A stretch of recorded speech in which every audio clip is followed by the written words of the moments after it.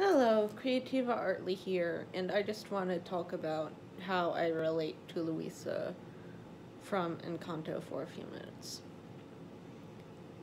I have been through a lot in my life, and as a result, it's made me put up walls of some kinds and made me act stronger than I am due to like all the traumas and pains and losses I've been through. And just like Luisa, I am learning to relax and learning that it's okay to cry due to these experiences and that hard experiences are just part of life and that it's okay to not always be the strong one especially as I am the eldest in my family.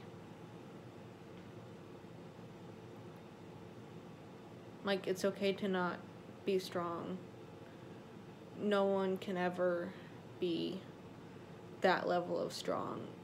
And it's nice seeing that portrayed on screen like learning to let those walls come down and learning that it's okay to cry.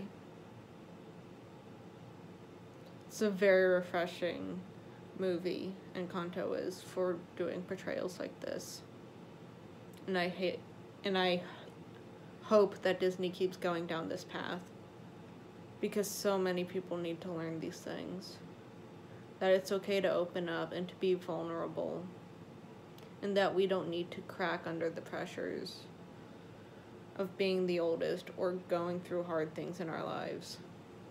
Instead, we can cry, we can confess these hardships to others. We don't have to bottle it up inside until we snap, until we break, until we buckle under the pressure. And I just want to give y'all that reminder as well. I am so grateful for Encanto and all that it is. I'll see y'all in the next video. Creativa Artly signing off until then. Bye-bye.